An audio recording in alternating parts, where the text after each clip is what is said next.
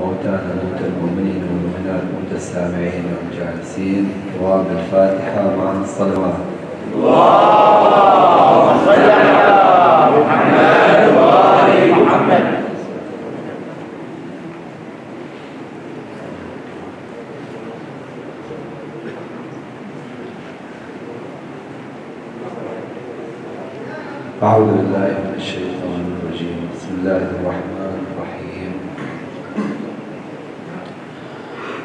والصلاة والسلام على أشرف الأنبياء والمرسلين الذي كان نبيا وآدم بين الماء والطين. جد الحسن والحسين الرسول المسدد والمصطفى الأمجد المحمود الأحمد أبي القاسم محمد اللهم صل على محمد وآل محمد شمولية بألطاف الإمام المنتظر.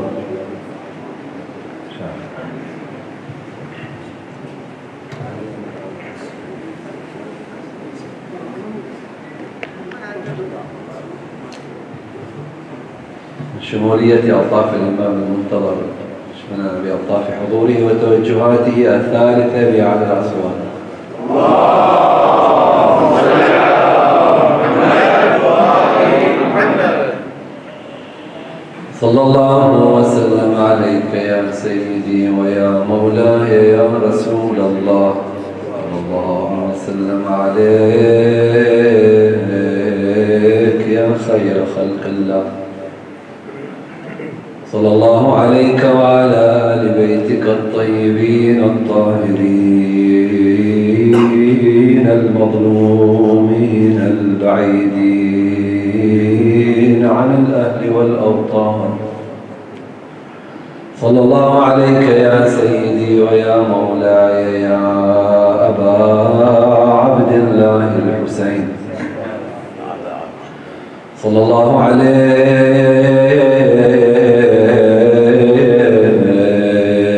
يا سيدي وابن سيدي يا ابن رسول الله ويا ابن أمير المؤمنين.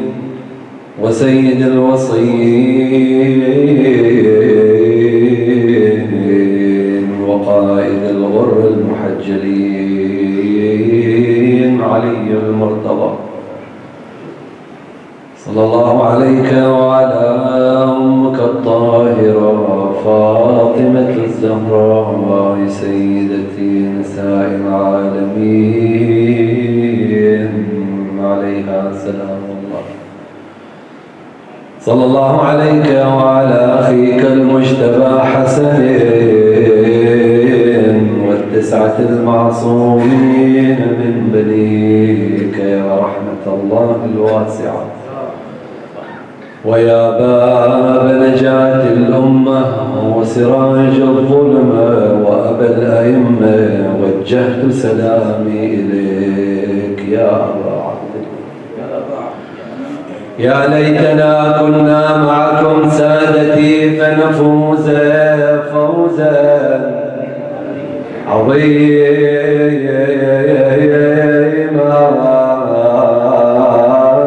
وذاك المنى لو أن ذلك يحصل غريب يا مظلوم يا غريب كربلاء. آه صفوة الهادي. ويا محيي الهدى ومحكم دين المصطفى وهو دارس ليلة وفاة الإمام الحادي عشر من أئمة أهل البيت. أهل بيت العصمة والطهارة وأبو الإمام المنتظر عجل الله فرجه. مواساة منا بهذا المصاب الجلل للإمام القائم. ولما مضى الهادي أريت معاجزا بها. أرغمت من شانئك المعاقس. يعني أذللت ألوفهم أولئك الجبابرة الطغاة بتلك المعاجز أذللت ألوفهم يعني بها أرغمت من شانئك المعاطس. ولولاك لارتاب الأنام براهب تصوب إن استسقى عليها الرواجس. تصوب مرادفها تصبو. يعني راح يكون يميل إلى الصابئ يصبو إلى النصرانية. هذه الكرامة المعجزة اللي أظهرها الإمام العسكري أمام المتوكل العباسي وأولئك الناس في ذلك العصر وكان يتقدمهم ذلك الجاثريق ومعه الرهبان حيث يستسقي السماء. وأظهر الإمام العسكري ذلك السر الذي شكك الناس من أجله هذا في هذا الدين ولكن الإمام العسكري مسح ذلك الشك بخروجه. فهذا السيد القزويني أو صالح القزويني يظهر هذه المعجزة في هذه من خلال هذه الأبيات؟ ولولاك لارتاب الأنام براهب تصوب إذا استسقى عليها الرواجس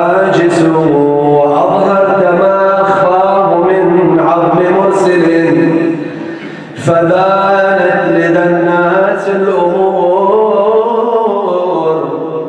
اللوابس بنفسي من نالت به سر من رأى فخارا له تعد النجوم الكوارث بنفسي من أبكى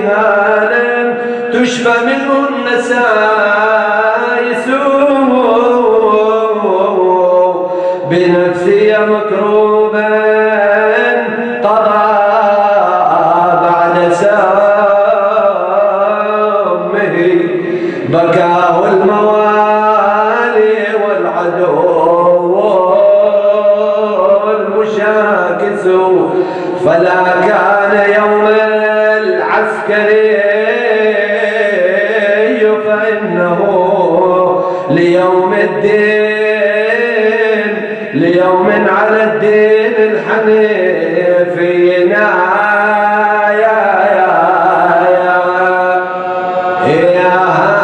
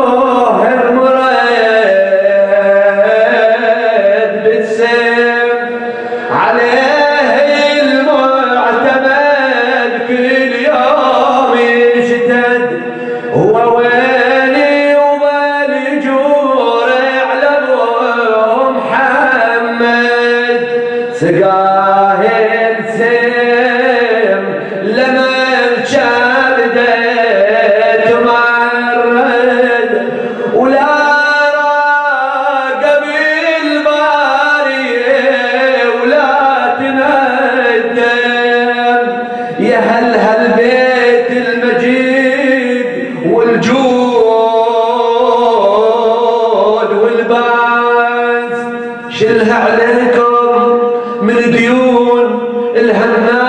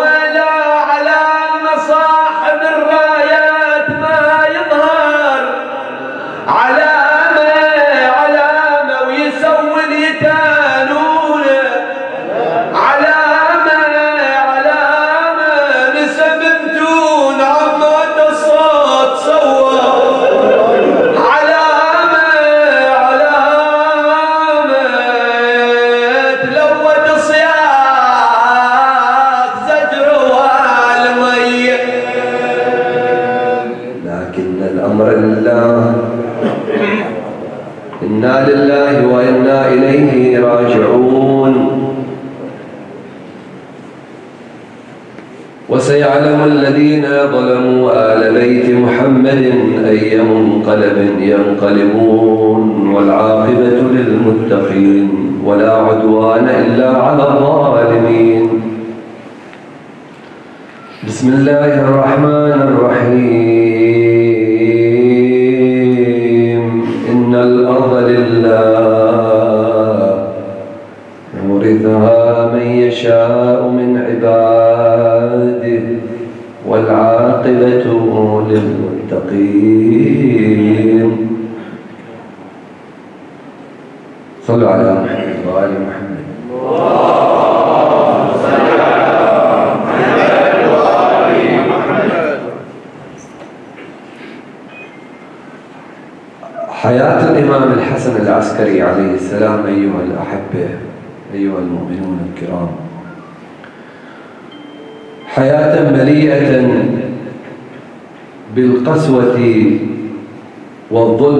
الاستبداد مليئة بالمساوئ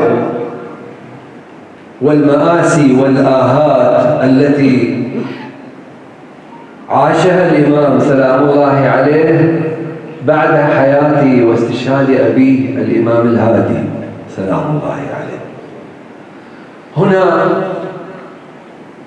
الأقلام النقية التي خصصت لهذا الدور الذي قام به الإمام الحسن العسكري وهذا المجهود وهذا العطاء جاءت تكتب بكل صراحة وبكل وضوح تلك الطقوس وتلك الأجواء المؤلمة التي عاشها الإمام العسكري سلام الله عليه تقول أنها نفس التي والظروف التي عاشها أبوه الإمام الهادي والضغوطات النفسية والسياسية والإقامات الجبرية والقوانين والوشايات والمراقبات وكل الملابسات وكل الأحداث التي عاشها من قبله أبوه الإمام الهادي وجده الجواد.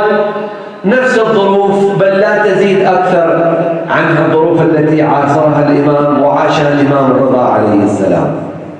هذه كتب السير وأهل التأريخ والكتب التي تتضمن بين متونها حياة وسيرة هذا الإمام المظلوم سلام الله عليه. كالكتابات للسيد للأستاذ عادل الأديب في دراسته التحليلية. يبذل مجهودا قصارى جهده في قراءة حياة الإمام الحسن العسكري. حياته التي ضيق الفضاء فيها عليه من قبل السلطات الحاكمة من حكام بني العباس الظالمين. وكذلك الشيخ الطوسي طيب الله ثراه والشيخ المفيد على الله على الله مقامه وابن بابويه وغيرهم من علماء الطائفة العظام رحمة الله عليهم يؤكدون تلك الاجواء التي عاصرها الإمام العسكري مع صغر عمره مع صغر سنه وهو في ريعان شبابه أيها الأخوة ائمتنا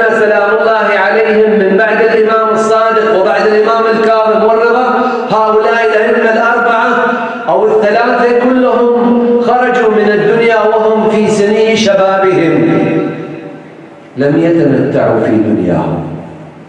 مع أنهم استلموا زمام هذا الأمر العظيم وتحملوه على عاتقهم إلى جانب الرسالة المحمدية الصادعة لهداية هذه الناس هذه البشرية هذه الأمة الضالة وما زالت ضالة حتى يأخذوا بأيديهم إلى حظيرة الهدى وقبة والقبة القدسية. تحت قبة محمد وآل محمد.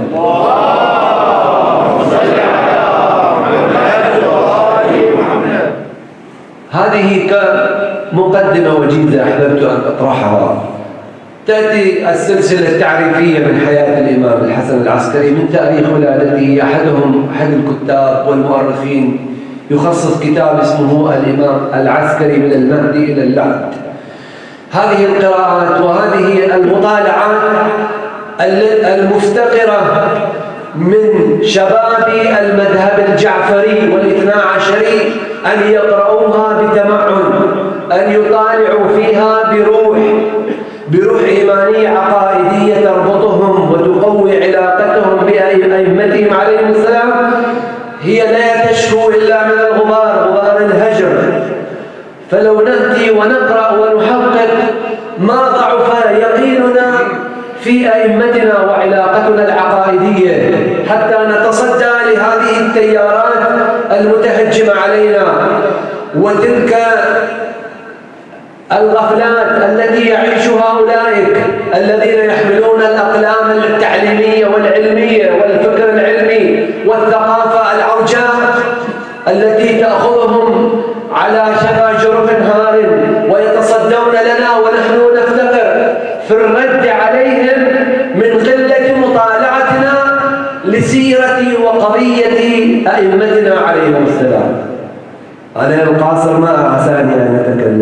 واحد محتاج إلى أننا نغذي هذا الروح. وأقوي عقيدتها ورابطتي بأهل البيت عليهم السلام. شنو يقول؟ دعاء الغريق اللهم أسألك ماذا؟ دعاء الغريق هذا اللي تقولوا دائما. اللهم أو هذاك الدعاء الذي يقول اللهم عرفني نفسك فإنك إن لم تعرفني نفسك لم أعرف رسولك. اللهم عرفني رسولك فإنك اللهم عرفني حجتك فإنك إن لم تعرفني حجتك لم أضللت عن ديني. هكذا. اللهم ثبت قلبي على دينك قلبي بعد إذ هديتني. هذه الأدعية التي تشد روابطنا بأهل البيت عليه السلام البطاقة التعريفية لحياة الإمام العسكري يقول تقول أنه ولد في المدينة المنورة وكلهم أكثر ولادتهم بالمدينة المنورة. على ساكنها أفضل الصلاة وأزكى السلام. يولد في السنة 232 للهجرة. ليش أنا أقول لك هذه السنة؟ أريد أقربك إلى مقارنة أخرى. في اليوم الثامن من شهر ربيع الثاني سنة 232 إنزين وفاته؟ في يوم الثامن من ربيع الأول سنة كم؟ 260 للهجرة. التقارب في اليوم. يوم الثامن يولد بس في ربيع الثاني. لكن في اليوم الثاني في اليوم الثامن يستشهد بس في ربيع الأول في سنة 200 هذا الرقم هو الذي اللي يشدنا أكثر في حياة الإمام العسكري عليه السلام. زين ووجه التشابه بينه وبين جده الجواد من ناحية العمر. عمره يخرج من الدنيا 28 سنة. رواية تقول 29 سنة. نفس الشيء الإمام الجواد 27 سنة لو 26 منها يتقاربوا وياه في العمر وجه التشابه بينه وبين جده الرضا سلام الله عليه. من ناحية المعاملة والحياة السياسية المأمون كان يضغط على الإمام الرضا بقبول ولاية العهد. لكن المتوكل العباسي أوصى كل أولاده من عمومته قال لهم اعلموا أنه يأتي رجل من هؤلاء. اسمه المهدي. يخرج آخر الزمان. فترقبوا. خروج هذا الرجل فاقتلوه. إذا وجدتموه فاقتلوه. من هذا الرجل؟ فكانت الحياة التي يمارسونها بني العباس على أهل البيت على الإمام الجواد هي أنهم يترقبوا خروج الإمام المهدي عليه السلام وولادته. كلهم تواصلوا. الحكام الذي عاصرهم الإمام العسكري ثلاثة. بعض تقول انها أربعة. المتوكل أدركه الإمام العسكري. مو قضى على الإمام الهادي. زين هو كان يوصي على أنه سوف يولد له ولد. وهذا السبب تجرأ على قتل الإمام الهادي عليه السلام. ثم لما أن علم أن ولده هو الحسن العسكري قال إذا سوف يخرج من هذا الولد من هذا الولد أيضا يخرج هذا المهدي فشدد الرقاب عليه أمر بحبسه. يحبس الإمام الحسن العسكري من حبس إلى حبس يساق هذا وجه التشابه بينه وبين جد الإمام الرضا عليه السلام.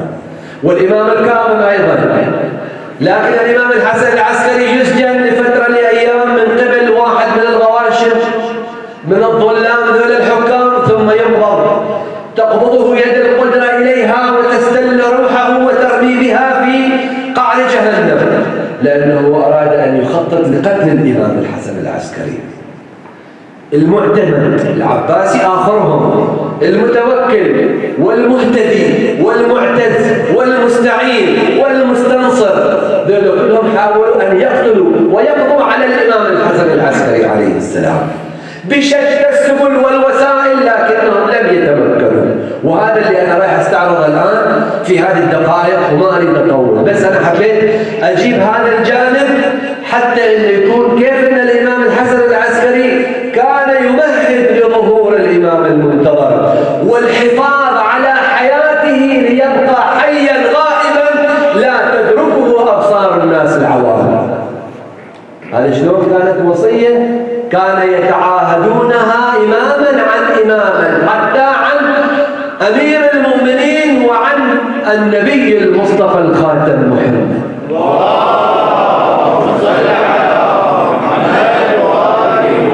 الذي كان يقول في تلك الأزمان الذي كان يكرر الحديث اللي أنتم تعرفوه ولو لم يبق من الدنيا إلا يوم واحد لطول الله ذلك اليوم حتى يخرج رجلا من صلب ولدي ولدي أو ولدي ورواية تقول ولدي الحسين.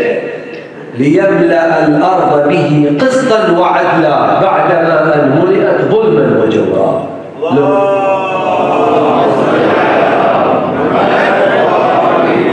حتى لو لم يبقى إلا يوم واحد. شوف هذا اليقين اللي أريد أربطك به حتى أجيبك إليه. هذه كلمة الإمام الحسن العسكري وهو يوصي أبو الح... علي بن أبو الحسن بن بابويه على أنه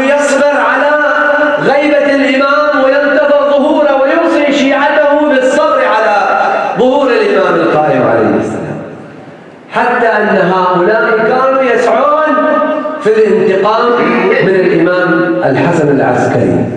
المهتدي هذا أو المستنصر والمستعين بس المستنصر ينقل عنه أحمد بن محمد القزويني أو ابن إسحاق يقول كان المستنصر لديه بغلة والبغلة هذه جموح.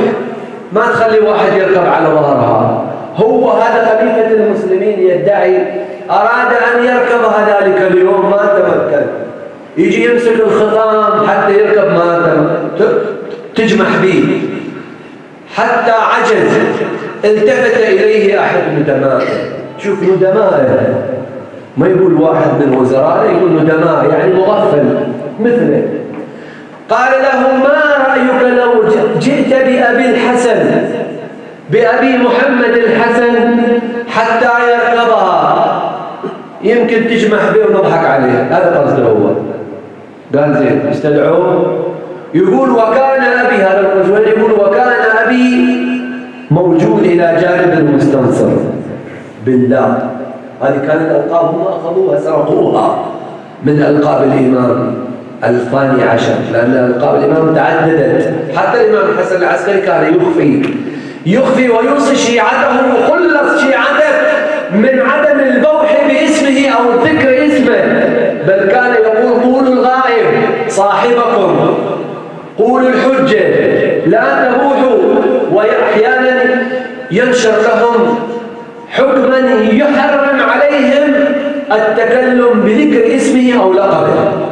ما يصرح باسمه فيقول جابوه جابوا أبو, أبو محمد الحسن العسكري إلى البغلة قال له هذا أبو القزويني المستنصر يؤمر يقول قول له خليه يمسكها. جاء الإمام سلام الله عليه شاف البغلة موجودة في وسط الدار. جاء إلى جانبها. جاء إلى جنبه ووضع يده المباركة على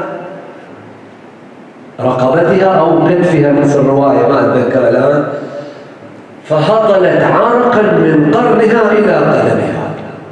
شوف الإمام بس من مجرد وضع يده ثم قال له قل له يمسك زمامها. مسك الإمام زمامها قال له قل له يركبها. الإمام أبو الحسن قال لأبو هذا القزويني قال له اركبها أنت. قال له المستنصر قول المستنصر توجه إلى الإمام أبو محمد. قال أنت أركبها يا أبا محمد.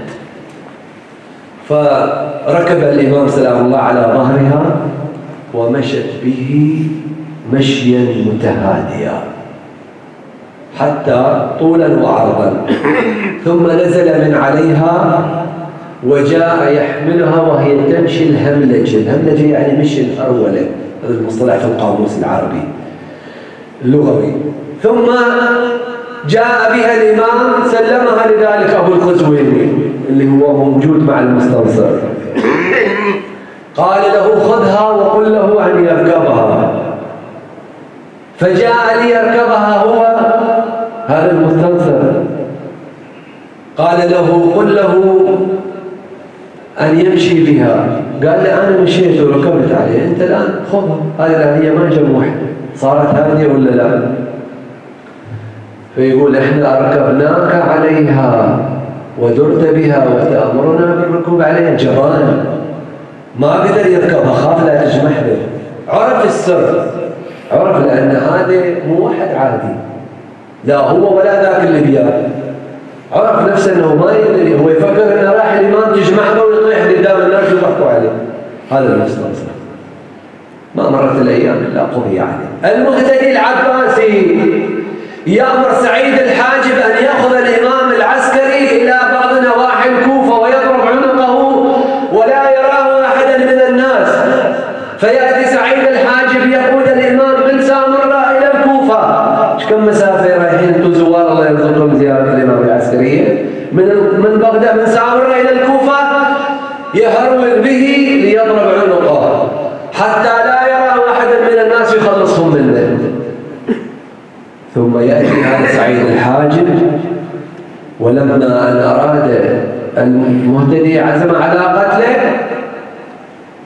وقتل العلويين في ثورة العلويين. ثاروا عليه ثاروا عليه هذا المهتدي.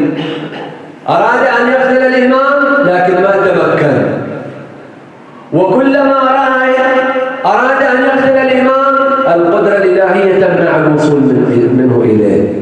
وهذا سعيد الحاجب تأثر بالإمام سلام الله عليه خوفه غضب الجبار ووعظه ثم خرج من عنده وهو أحسن الناس حديثا عنه ولفضله. مات ما قتله ثم أن المهتدي لما انبصر بالإمام قال لأجلونكم عن جدد الأرض. والله لأضرب عنقك. والإمام كان يتوارى عنه. ما ظلت إلا ثلاثة أيام. إلا والأتراك والعبيد والمماليك هجموا على المهتدي وقتلوه. كلهم قضى الله عليهم كلهم دول الثلاثة أو الأربعة. لكن بقى المعتمد العباسي. المعتمد هذه آه، جعل ينكل حياة الإمام عليه. ما ترك له مجال. خلي الرواية شوية أوقف وارجع. كيف الإمام كان يمهد؟ للحفاظ على ولده المنتظر سلام الله عليه. أن يبقى حيا أن يبقى سليما. هذا المعتمد العباسي من أخبره بأن المهدي مولود؟ عم الإمام المهدي جعفر الكذاب. أخو الإمام الحسن العسكري ابن الإمام الهادي. هسه الآن هذين يتصيدوا علينا تراهم شباب. نحن إذا نقول جعفر الكذاب يقول شوفوا حتى عندهم من أئمتهم كذاب. ذول يعني يأخذوا جزء من الكلمة يأخذوا القشر ويرموا اللب تعال مو بقى جعفر الكذاب هذا سموه جعفر التواب انتهى تاب بس هو كان منحرفا حتى الإمام الهادي. كان يوصي بعض شيعته أن لا يتعاملوا مع جعفر. ينهاهم بالتعامل معه قال إن إن ما بيني وبين جعفر ما ما بين نمرود ونوح حيث قال نوح في كتاب الله لله يا رب إن ولدي إن ابني هذا من أهلي. قال يا نوح إنه ليس من أهلك إنه عمل غير صالح. يعني يقول ما بيني وبين جعفر ما بين نمرود ونوح. فقطع المعاملة معه لأنه كان يأتي بالمفاسد. على كل حال هو الذي أخبر المعتمد بأن المهدي موجود في بيت العسكري. حشد القوات والجيوش وجابهم إلى بيت الإمام الحسن العسكري. في ذلك الوقت في سنة 255 للهجرة. ها الإمام كان عمره خمس سنوات. هذه الروايات تقول. إنزين. لما ان دخلوا على بيت الإمام الحسن الحسن العسكري قلبوه طولا وعرضا فتشوه فتشوا كل أغراض الإمام جابوا بها في الحوش القوها ما وجدوا من يذكر أنه غلام في بيته بينما الإمام كان موجودا سلام الله عليه. كانت العناية الإلهية غطت بصيرتهم وأبصارهم عنه. ثم لما ان راهم منشغلين ينهبون ما كفاهم قلبوا الأغراض. لا نهبوا نهب بيت الإمام سلام الله عليه وامواله الإمام استغل الفرصة هكذا تقول نص الروايه عند كاتب عادل الأديب في كتابه دراسة تحليليه لحياة الإمام الحسن العسكري والأئمة الاثنى عشر. اقرأ.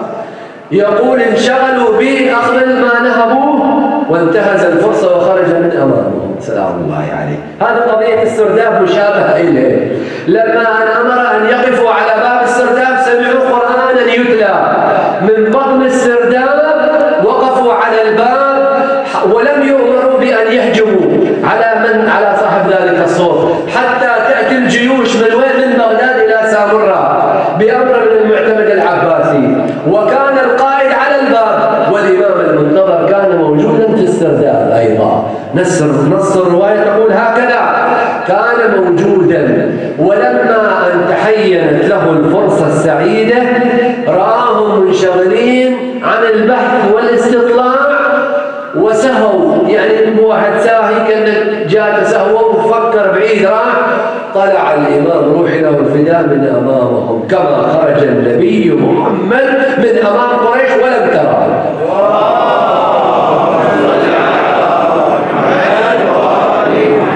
هكذا. هذه يعني هي تتدخل ولا فخرج من أمامهم ثم جاء القواد وهجموا. قالوا له لم ترى؟ أما رأيته خرج امامك قال ما رأيت. ما رأيت؟ يعني تعرف شو معناته؟ ما رأيت؟ يعني أنت شفته أنا شفته. يعني يقول أنا شفت واحد غلام طلع. قال ليش ما مسكته؟ قبحك الله لم لم تكن القبض عليه. قال ما كنت اعلم انه هو الذي في السرداب المطلوب القبض عليه شلون؟ واحد منهم يقول أنا شفته نص الرواية هكذا. وبالفعل كانت السماء تحيطه عناية. الإمام العسكري كان يقول لابن بابويه اسمع رحمك الله أو عافاك الله. إن ولدي هذا المهدي كما أخبرنا عنه وأخبر عنه جدي صلى الله عليه وآله وسلم أنه سيملأ الله به الأرض قسطا وعدلا بعدما أن ملئت ظلما وجورا. فإن لولدي هذا الحج المهدي يوما يخرجه الله ليملأ به الأرض قسطا وعدلا بعدما أن ملئت ظلما وجورا فاصبر على غيبته يا أبا علي بن الحسن يا شيخي شوف نص العبارة يا شيخي يا أبا علي بن الحسن يا ابن بابويه اصبر على غيبته واغمر شيعتنا بأن ينتظروا ويصبروا على غيبته وظهوره. فإن جدي صلى الله عليه وآله يقول إن أفضل أعمال أمتي آخر الزمان هو انتظار الفرج. شوف بعض الشيعة اليوم جايين يشككوا حتى بغيبة الإمام. يقول لو كان الإمام يريد يطلع يطلع على هذه الأحداث اللي صارت.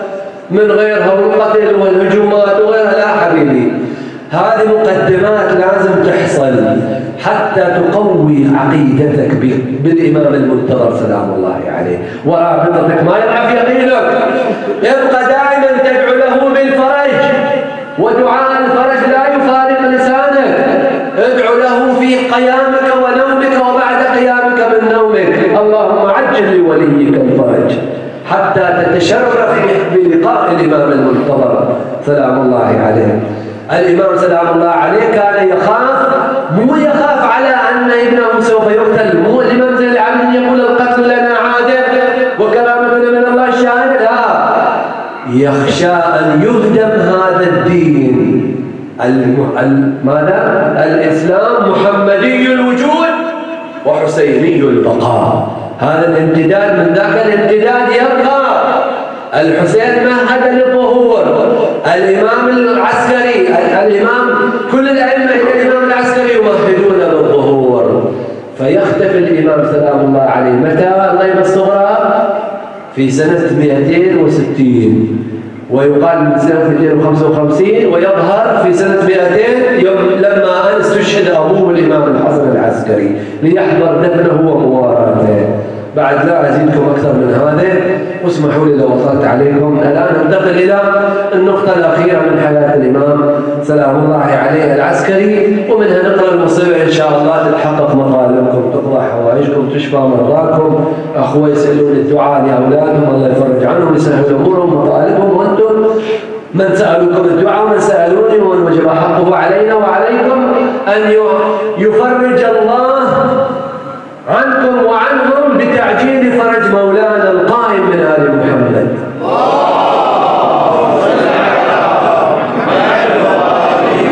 هالرواية وسلك الدعاء المعتمد العباسي هذه النقطة خليتك يمين ولا أجيبك الآن عنده أمر رجلا يكن العداء لأهل البيت ولآل أبي طالب شديد العداوة وهو اسمه نحرير. نحرير. ألقى به في بيته. أمره بالتضييق عليه وكان يأذي الإمام. يأذيه ما يخليه ينام يشغل عن عبادته. زوجته هذه تقول له ويحك. اتق الله. أنت ما تعرف من هذا اللي في بيتك. أنا أخاف منك عليه. ويحك لا تفعل معه هكذا. ثم تحكي له عبادته وصلاحه وورعه وتقواه. تشتد عداوته. قال والله لألقي به بين السباع والأسود. ثم استأذن الخليفة المعتمد الهالك بأن يفعل قال يفعل. جاءوا به وألقوه بين السباع والأسود في خارج. فناء خارج كذا أو بركة بين مزرعة أو ضيعة مظلمة ألقوا الإمام الحسن العسكري فيها ثم بعد بالليل يجوا يشوفوا شلون وضع الإمام. ما كانوا يشكوا بأن السباع لن تأكله. بلى بل قالوا سوف تنهش لحمه وتقطع عيربه ثم أطل هو والمعتمد العباسي من فوق شرفة القصر. فرأوا حال الإمام. إمامكم الحسن العسكري شلون؟ والسباع والأسود تدور حوله. سلام. عليه. وهو قائما راكعا حتى إذا سلم جاءت وجلست على يمينه وشماله ويمر بيده المباركة على رؤوسها وهي تبصبص بذيولها على الأرض. ولما أن انتهى الرابعة سمعت اليوم من أحد الخطباء يقول وتأتي بعد ذلك لتمرغ وناصيتها في موضع سجوده. سلام الله عليه. تعجبوا. قالوا هذه أسود ضارية مفترسة ما أكلته ثلاثة أيام ألقوه وعلى هذا الحال والمنوال. ثم أخذوه وأودعه المعتمد في سجنه وبدأ يضيق عليه ويخطط على هلاكه لأن أيقن أن المهدي موجود. قال بعد ما في طريقة لنهلكه فدس إليه ذلك السم القاتل عظم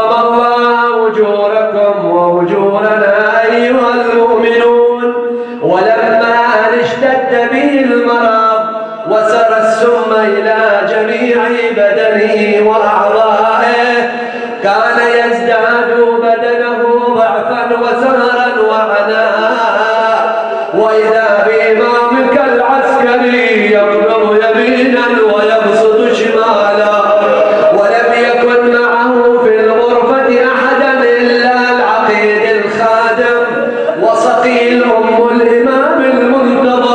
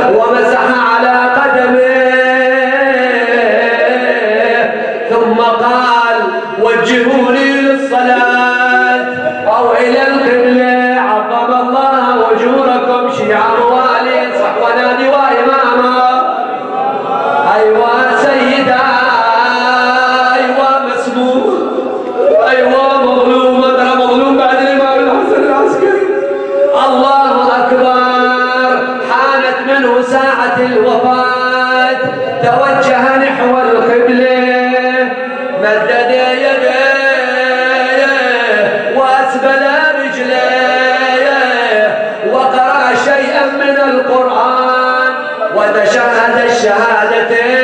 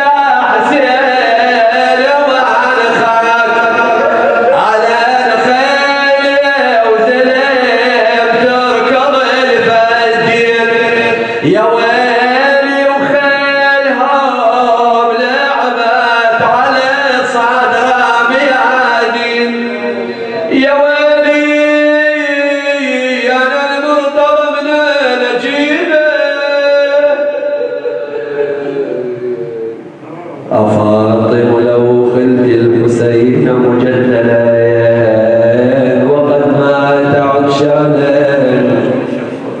بشط فراتي ذل لطمت الخد فاطم عنده وأجريت دمع العين في الوجنات إلهي. اللهم صل على محمد وآل محمد. كما أنت أهل أن تصلي عليهم أجمعين. اللهم لا تدع لنا في هذا المكان المكرم من المشهد وعظم ذنبا إلا غفرته. ولا هما إلا فرجته. ولا سقما إلا شفيته. ولا بلاء إلا صرفته. ولا وباء إلا دفعته.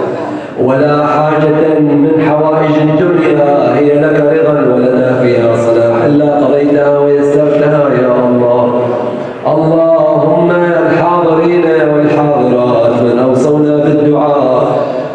حوائجهم اشف مرضاهم احفظهم في أهليهم وأنفسهم وذويهم. اللهم انصر الإسلام وأهله وذل الشرك وأهله ودمر أعداء الدين. علماء الأعلام مراجعنا العظام مشايخنا الكرام. اللهم احفظ الباقين منهم وترحم على الماضين منهم. وشهداء الإسلام اللهم وعجل لوليك الفرج وهب لنا دعاء